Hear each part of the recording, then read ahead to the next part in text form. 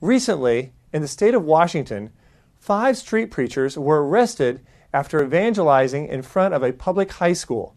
Now, these street preachers weren't creating problems, they weren't screaming at people. Uh, they were holding signs with the good news of Christ, passing out gospel tracts, telling students that Jesus loved them. And yet, they were arrested for violating a quote, noise ordinance. Well, we at the Pacific Justice Institute stepped up to the plate. One of our attorneys, Kevin Snyder, uh, defended them and got the criminal charges dismissed. But what's really alarming, though, is the fact that one of these street preachers is from the former Soviet Union. And he recalls how he had similar treatment from the KGB when he was under the, the control and demise of Soviet oppressors.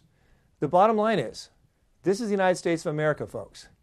And let's always remember that freedom is something that we will lose unless we're willing to fight for it.